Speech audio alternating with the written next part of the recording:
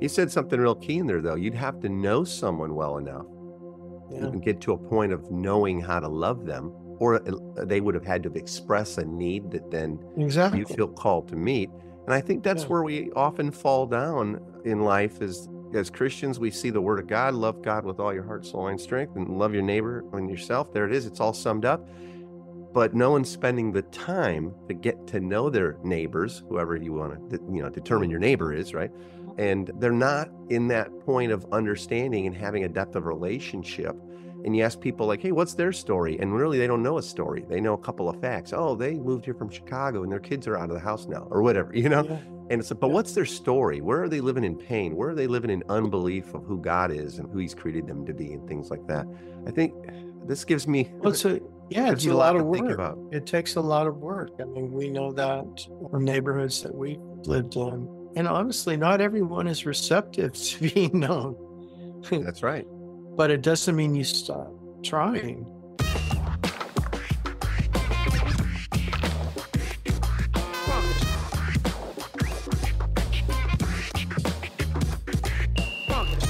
Welcome to the Everyday Disciple podcast, where you'll learn how to live with greater intentionality and an integrated faith that naturally fits into every area of life. In other words, discipleship as a lifestyle. This is the stuff your parents, pastors, and seminary professors probably forgot to tell you. And now, here's your host, Caesar Kalinowski. All right, here we go. I gotta say, it's been a good week that we've had over here. My new book, Slow Burn Relaxing into Theology, came out this past week. And guess what? It hit number one in three categories. Praise God, my first number one book, on Amazon at least. And I want to thank you if you bought a copy and helped it jump up the charts. I've been getting a lot of messages to emails, social posts from people who have got the book already and they are digging it and they're diving straight into community with others following along that whole process that we outline in there in the 12 conversations that we completely outlined for you. So I hope you'll grab a copy if you've not. It's you can go over to Amazon and get that right now, either the paperback or the Kindle. And you can get both of those also at missiopublishing.com, missiopublishing.com, just like it sounds. And they have great prices there. And that's also where you can get five and 10 packs and cases and such and free shipping. All right. Amazon, you just got to buy one offs. But if you want to do this in community, get a bunch of different leaders using this, uh, you're going to get crazy discounts over at missiopublishing.com. Also, got to say how fun and exciting it's been in our coaching cohort here these last several weeks. Everyday Disciple Makers is our coaching, and so many couples who are doing the story of God right now in their communities are seeing such breakthroughs. So many people who are either far from God, starting to walk towards Jesus and understand who He is and want Him to be their Savior, and also a bunch of Christians in their communities waking up to like, are you kidding me? Is this really the story? It seems like for us and so many people we've coached, their community life, both with believers and not yet believers, is sort of divided now before they did the story of God and after we did the story of God. It's such a marker for helping people. So it's been so exciting. It just happens to be a time right now when a whole bunch of people are doing the story of God in their communities and we've just been getting flooded with oh so many good news sort of reports and evidences of grace. Oh i love to tell you more about that and if you're interested in the coaching that we offer tina and i coach together as couples and we coach couples go ahead and go over to everydaydisciple.com forward slash coaching everydaydisciple.com forward slash coaching. There'll be a bunch of other information there for you and how it all works and uh, see if this would be a good fit for you. Okay Today's topic and episode is pretty special to me. I've got Charlie Peacock and his wife Andi on. Now, Charlie Peacock, some of you know who he is when I say that. He's a really good songwriter, singer, musician, record producer. And I've known him forever. Back in my one of my previous lives when I was a record producer, I got to know Charlie Peacock and even went on the road touring with him a little bit. If you don't know Charlie, he is really good. He is a really good artist. He's done tons and tons of records, and he has written songs for a variety of genres. He wrote for DC Talk, for Margaret Becker, Philip Bailey, Out of the Gray, Bourgeois Tagg, on and on and on. And his songwriting career really took off when he wrote Every Heartbeat for Amy Grant became a major hit on the charts, Billboard's Hot 100. I think it made it to number two. And he became a very proven, one of the top producers in Nashville for all kinds of music and certainly lots of Christian music. He's produced close to 50 albums worth of stuff in all kinds of different gospel and contemporary Christian categories. He's got a lot of Grammys. Anyway, a really cool guy. And he and his wife, Andi, have been steeped in community the entire time they've been making records and helping other artists and musicians chase their passions. And the three of us recently had a conversation about the power and beauty and importance of why everything we do in life matters and has significance in God's economy. And I love how everything they said fits into living a lifestyle of discipleship and our understanding of how life is full of opportunities for disciple making and glorifying God. But they spin it and they speak about it from a very different perspective, and it really moved my heart. Charlie and Andi are both seasoned saints and gentle, and they're somewhat soft spoken, and I think you're going to love their hearts. And they stepped right up at the end of our talk and gave us a really cool big three for this episode all on their own. So make sure to listen to the full interview because near the end, Charlie lays on us the single most important thing he believes Christians miss about being a Christian. It's very insightful, and I think it's really needed right now in the church. Take a listen.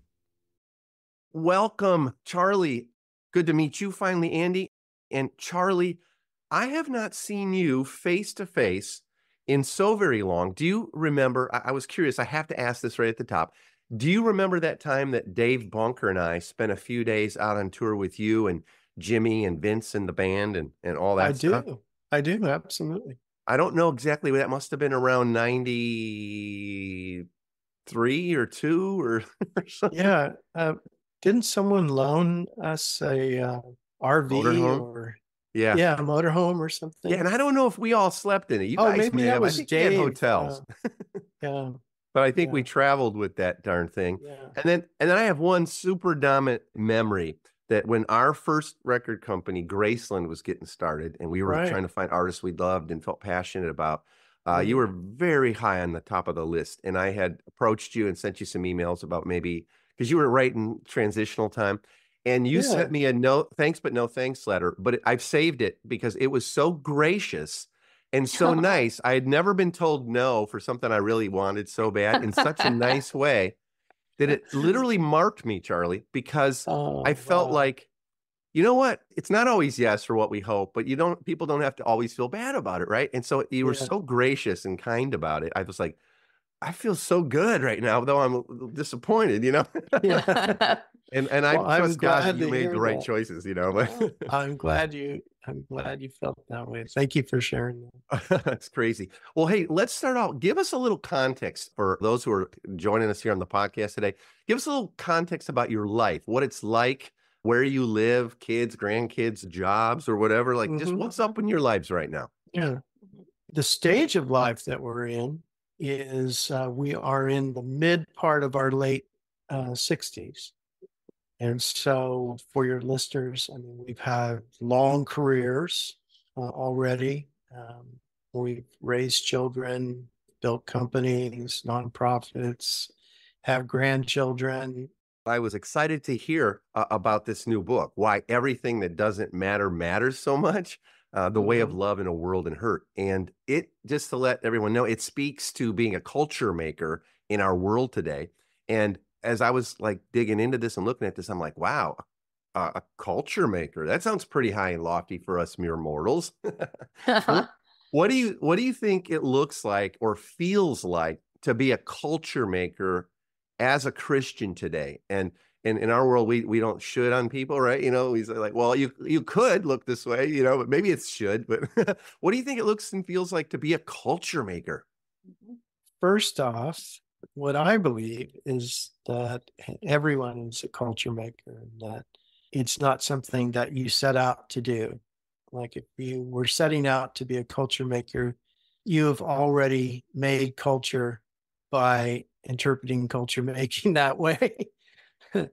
that's that's the way you've contributed by thinking that it's something that's out there that you're going to do rather than it's something that you're doing every day. So to me, the question is, what kind of culture are you making? Mm. And you Yeah. shared a moment ago about um, some of your fellowship and community and how you are intentional in your neighborhoods and, and uh, intentional in friendship, intentional in neighborhood care, and all of that. And that's very intentional culture making because you've given some thought to it. In other words, you, you've said, what kind of culture do I want to make and participate in? And I think that's really what's at stake when we talk about culture. It's not so much that we, like you say, like a high and lofty thing of like, okay, now we're going to go make culture. It's really no, you're you're you're making it, or as our friend David Dark says from an old television ad, you know, making culture. No, you're soaking in it. You know, Yeah. we're all soaking in it. Yeah, And that's so true. Then, Right. So then it really becomes an issue of how are we contributing and what is the quality and quantity of that contribution. I love that the parallel in our world i- that we talk about a lot is that you're kind of always in discipleship mode, meaning Mhm. people are watching your life. And so you're either leading them to what it looks like to be submitted to God and his will and plan for the world and the kingdom, or you're Mhm. kind of modeling and speaking of what it looks like to build your own kingdom Yeah. or think you are at least, right? Yeah. And so I, I I like I like this idea that we're all making a culture. And I I think that my own life and with Tina and I, we feel like in some ways very young in our marriage and life. We were just trying to get by. And so there was no there was no intentionality per se. Mhm. Mhm. And in light of what you're saying, I can see we were still creating a culture. oh, and- yeah. Yeah. And yet, by his, God's grace, it it began to become a more intentional culture of how do we want to live and how do we want others to uh, interpret our lives and interpret who God is through that and, and, and all those types of things. W- One of the things, one of the things that's been really helpful for us as we help create active communities of faith on mission uh, is is we found helpful to look at the seven pillars of culture. Now, we didn't define these ourselves, but I'm sure you've probably heard what these are. You know what I'm talking about and, and they're family, education, business, media, and the arts. And you and I both, all of us, we've spent a lot of time in that. Healthcare, government, and then service organizations, which um, I don't know, the people who make this these seven pillars put church in there, you know. Um, but we've found it healthy and helpful to look at the seven pillars that seem to be kind of existing in all, uh, you know, society, I guess, and help people find their places of passion and intentionality and influence within their cities and neighborhoods. Can you speak, maybe Charlie, uh, to the theology of artistry and how that provides a framework for creative work for all of Jesus followers? That that because I think it's all creative too. but what's the theology of artistry and how does that speak to all of us? Yeah, well, artistry is a vocational calling and pursuit, and it can manifest itself in a lot of different ways. You know, I mean, that could be choreography, it could be music, it could be fine arts, uh, literature, you know, all sorts of ways that we commonly think of Culinary. Yeah, as the arts. But there's also an artist way in the world, I would say, an artist way of thinking that's been passed down through history, the way that artists embrace life. You, you'll find the arts are often forecast the future. They are oftentimes on the front end of controversial issues. And part of that is because artists are always starting from nothing towards something you know so they they participate in many ways very close to what we read in genesis in terms of there being you know something or barely something you know that's that's kind of undefined and out of that god creates. And so we have a you know theologians have a way of explaining this is that you know god creates out of nothing we create out of something. And the something that we create out of is what God has made, even if it's circumstance, even if it's just that God put you in this place and time, right, with these particular people. That's a part of it. So artists practice this vocation of making, it might be like for me, you know, you know, you, know my story, so I might get up every day and, and make music. Well, you can pretty quickly take that model of being in the world and apply it to every vocation. And this is something that Andi has studied a lot, um, both on her own and at seminary. And um, the idea that we all are creating a story with our life. And this vocational life is is a life of calling. In other words, but in order for there to be a calling, there has to be someone who calls. And so for us as Christians, we believe the person who calls is God Himself. He's calling us to a particular life and at a particular time in history, and that there's going to be this unfolding story of our life, right? And some people will use words like, well, this is, you know, your legacy. This is the story that you told with your life. And because it is like that, there are things that are in your control, things that are out of your control. You're resourced for some things, you're lacking in, in resources for others. People experience incredible tragedy. Some people go unscathed, seemingly unscathed through life. You know, we all come at it in different ways. But the idea is that you could be in, like you said, in healthcare, or you could be in the arts, and those arts could be music or culinary arts and that can be a major part of the story that you tell with your life. And so that involves having craft. It ha- it involves having skill and ability. And if you're a christian it involves having spirit and it's being guided by god's spirit using these skills and abilities in order to do this particular work of crafting of making something. And that means that all of your imagination, all of your dreams, your aspirations for that particular thing, you know, are poured into it. I mean, that's how you get innovation. That's how you change the world in terms of if you're in the medical field, you know, you spend your entire life trying to break the code on a particular disease, right? Yeah in the same way, uh, John Coltrane spent most of his life trying to break the code on how to extend the range of the tenor saxophone and what could be played on the saxophone, right? So that's a big part of the human project is the stewardship of all that God has made and and in some ways expanding what can be done, recovering what can be done, perfecting what can be done, and doing it all as unto God, an audience of one for the common good of all of God's creation out of love for God and neighbor. And that's that to me is is kind of the formula there. Love it. I, I'm listening to this and I'm thinking, well, for a lot of people, they might think of vocation is something I do to go earn money. And maybe I do see aspects of my life as a maker or creative in all yeah. the different ways that I think it is. I think everybody's creative in some way in that sense. And do that, but do they have calling? Maybe Andi, speak to the importance of understanding vocation because yes. the way I was raised, you know, in the Midwest, your vocation was what paid the bills. That's and then right. you had your passions. And if mm-hmm. you could fit some of that in, and oh my goodness, are you lucky if God uses it in some way? Because Monday you got to go back to work. Mm-hmm. Yeah, yeah. Well, I think it's been such an important word for me to understand the meaning of. And it's as easily understood as knowing that, as Charlie said, God calls and we're responding. We're responding through the whole of our life. It's ever unfolding.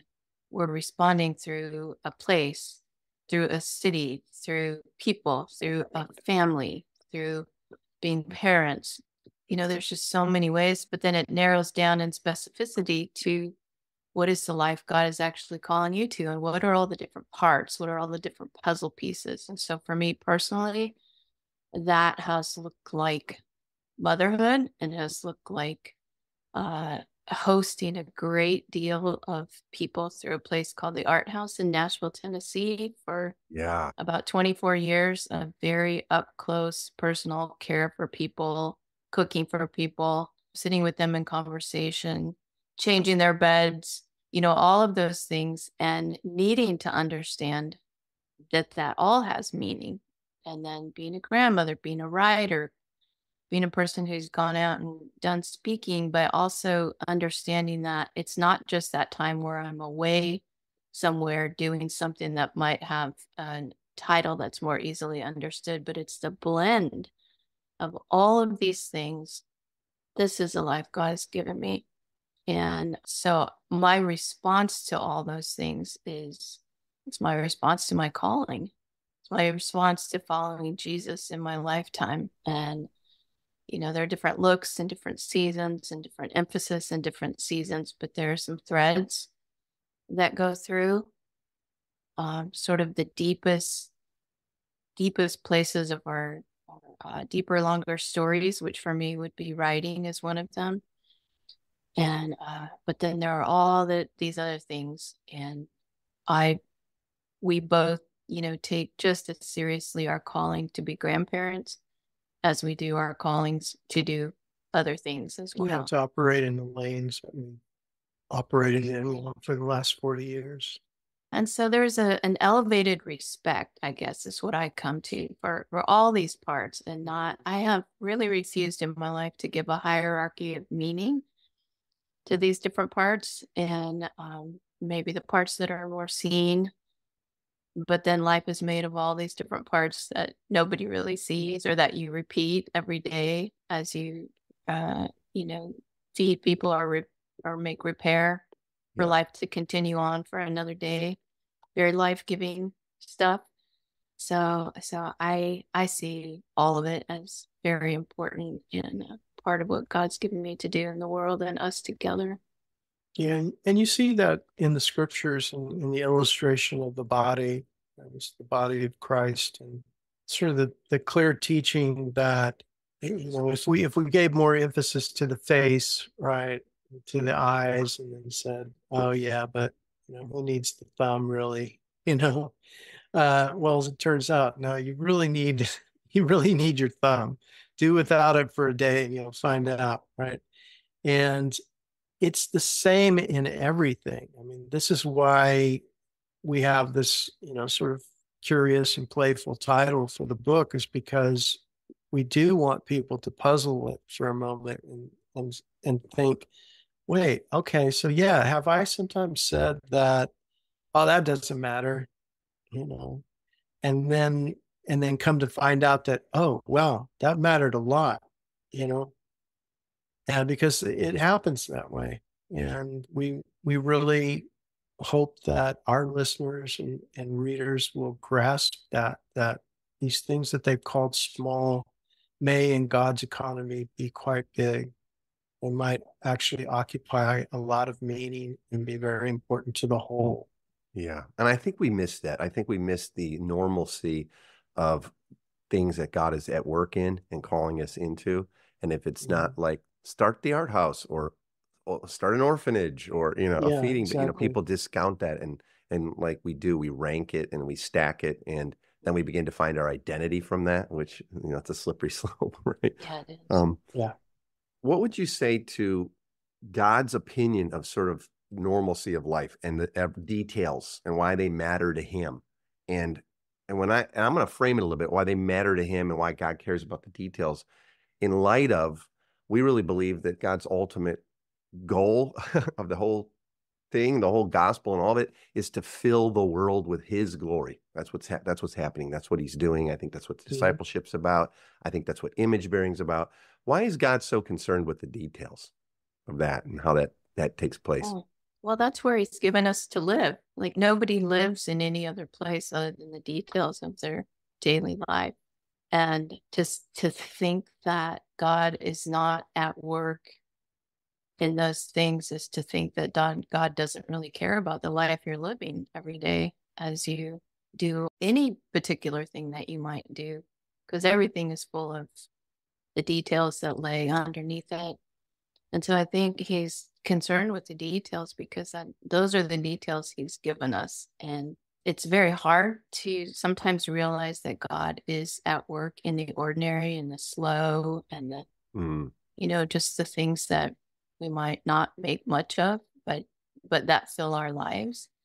Or it's also to see that as we've been called to feed the hungry and give drinks to the thirsty and care for the sick and all of those very practical things there's many ways that that those can happen in a lifetime, but it doesn't ever bypass the way you're being called to that in a daily life, in a in a household or in a neighborhood or Yeah, uh, I agree. I know Yeah. hospitality is big to you, right, Andi? It, it has been, yeah. It's well, it's been a, a very huge part of my work, and My wife's too. so My wife is like hospitality plus it just oozes out of who she is. yeah. I don't, I don't, I'm not sure if I would have, you know, in the in the early, very early days of my young life as a woman, would have thought this is what I want to do. So that was more also process of being called to it over time and responding, and then becoming gifted along the way. But Hmm. it was there very definitely a process of being called. And yeah, and, and having a lot of struggle inside of it too, to say this is really hard and there are tensions in here, but this is the calling. And so I'm going to be dependent on God and ask for his grace and ask him to show us how to, how to keep going. Yeah. Yeah. I got a couple more things I want to ask you Mhm. here while I while I've got you. So Yeah. in in the book, it uh, talks quite a bit about expressing love, even in the midst of in today's sort of high levels of cynicism and fear and exhaustion that people feel, and, and many people feel oppressed by you know, systems, world systems, or others, and all. How do we go about? I know this is a pretty broad question, but how do we go about in the normalcy of life and and within calling and vocation expressing love in light of that cultural soup and cynicism and fears Yeah, to me, the downbeat is really Jesus' in the summary of the law, uh, love of God and neighbor. And, you know, the Bible can be ambiguous at times and complex, but there is just nothing ambiguous or complex about that. Carrying it out might have some complexity, but when we go to the Word of God and look for for definitive teaching, I mean, I just can't. It can't be clearer than that. That the entire summary of the law is that we are to love God and to love neighbor, and what's so that look like what's that practice yeah, look like yeah. how about in your own life what's that look like in your own life i know you've got a lot of people coming into your world because of the way you live so do we yeah, but how does that express itself love of neighbor for you guys yeah. Well, love is a movement. Love is is action. It's not a concept that doesn't have imagination creativity attached to it. And by that, I mean, you can't love without imagining for someone or something, right? Um, no what do you mean if, by that? if I'm, if I'm going to, if I'm going to, to love you well, then I have to get to know you. I'd have to uh, find out uh, what hurts you, what delights you. We'd have to get close enough to that, or you'd have to expose a need to me that you were really interested in having someone meet that need. And that need might be anything from helping you get your car fixed to uh, a need for beauty in the midst of feeling like, wow, the world is is really, really, really dark and dismal right now.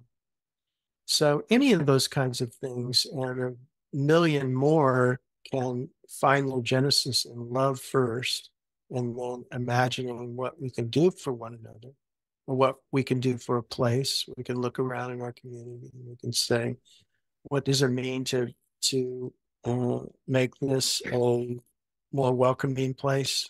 Does it mean for to uh, a more beautiful place, a helpful place? All of those things are really love based and start in the imagination first, and then we create. That's why I believe that that the best uh, creativity is rooted in love, and we use the imagination to figure out how it is that we're going to love well.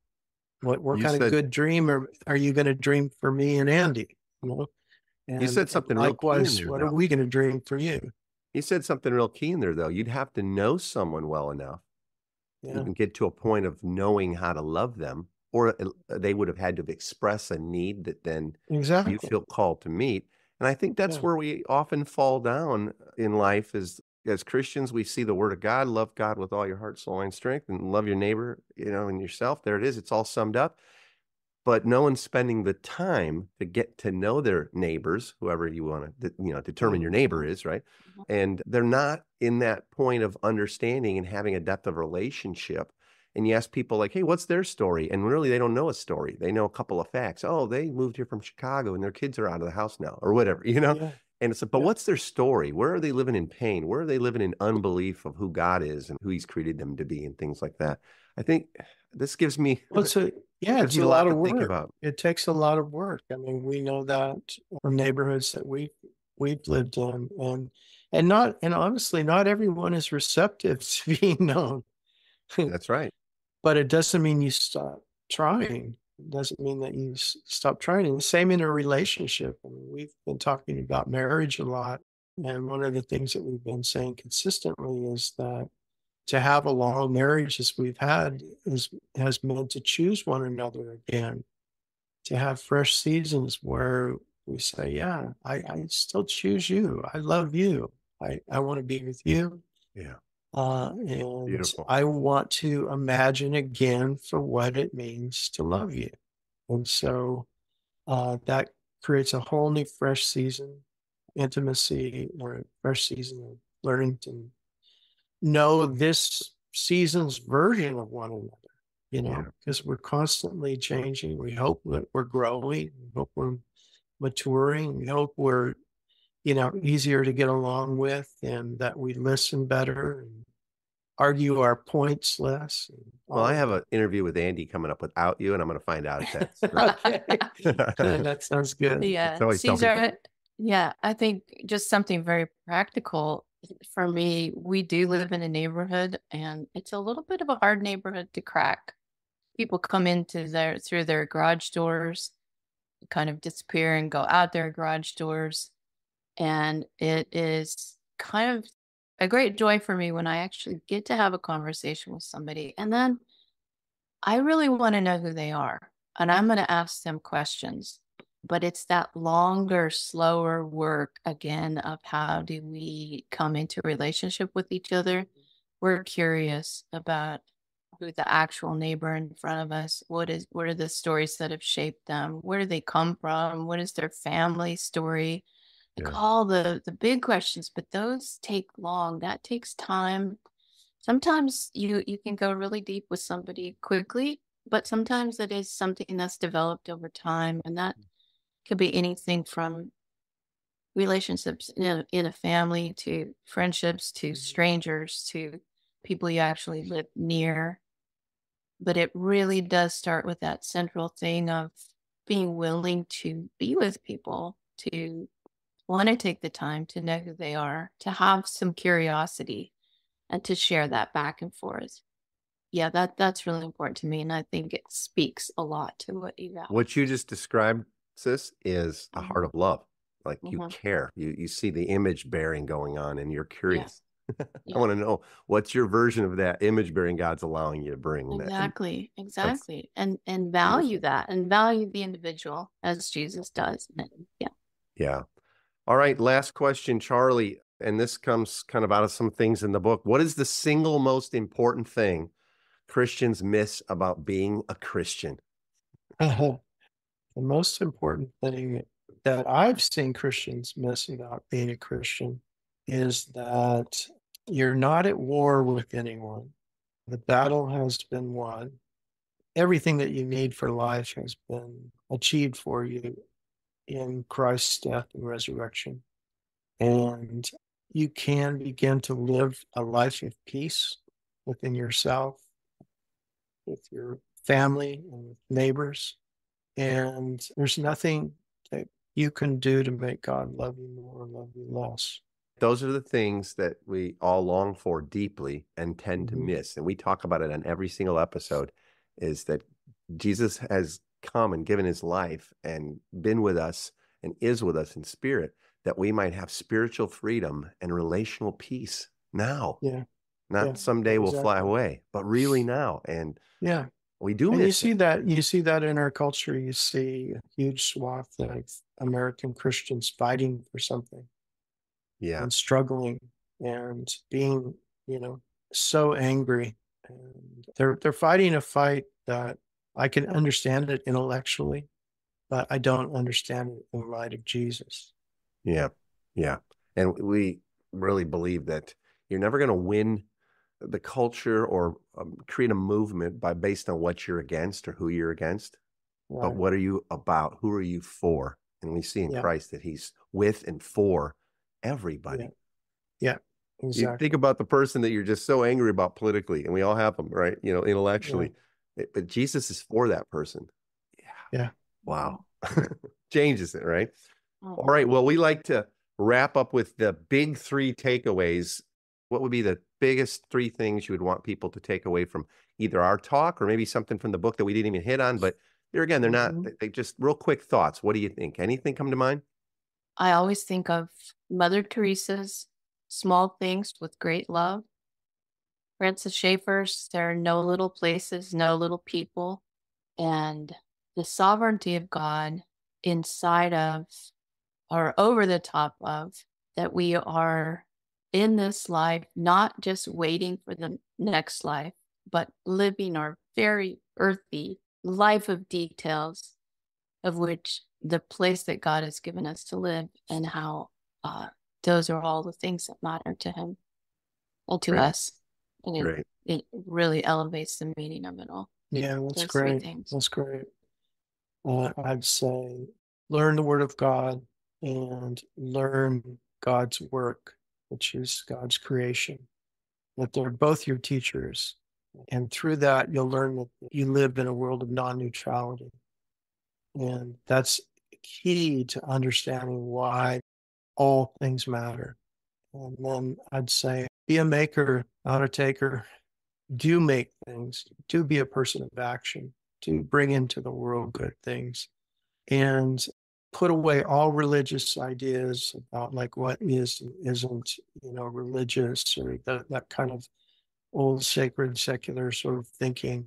Just put that away and just say what is good and what can I make today that's good. You know, it might be a coffee table one day, might be a relationship the next. But focus on making good things that um, that bring goodness and delight and beauty and care to people and and make them feel that you know what I was seen and known. Beautiful. Wow. Good. That's a great big three for us to take away and remember and tuck into our hearts. Thanks again, both of you, Andi and Charlie. Thanks for being on with me today and talking a little Mhm. bit about these things that are clearly close to your heart and a part of the book. And uh, we'll definitely give folks a link to that where they can pick that up and, and dig deeper Oh, into all that that. stuff. Thank, Thank you, you. Caesar. Okay. That was such a fun and encouraging talk. And it was really fun for me, too, just to reconnect with Charlie. It's been years since we've got to talk. I hope you'll check out their new book, Why Everything That Doesn't Matter Matters So Much. I put a link for this in the show notes for you. I found myself replaying and thinking about what Charlie said in my mind about how loving someone well has an imaginative and creative nature to it. And he connected that to continuing to love his wife after decades of marriage. And he said, I want to imagine again for what it means to love you. Oh, that was so powerful. And so that creates a fresh season of learning to know this season's version of one another. Like, oh, I want to do that. I want to be that way with Tina. It hits me hard, but in the best possible way. What did you think about that? I'd love to hear your thoughts on that or anything from this episode. Let me know in the Everyday Disciple Facebook group that we've got. You can find that real easily. Everyday Disciple, just search it up in Facebook, you'll find it. And I'd love to hear your thoughts. All right, well, I'm going to wrap it up for today. Next week, I'll be talking about using the gospel to motivate ourselves and others toward a life of mission. So, no more carrot and stick, no more begging, no more shooting on people. It's a bunch of stuff I'd wished I'd known a whole lot earlier in our lives in ministry, but I'm going to share it with you. You don't want to miss it. I'll talk to you soon.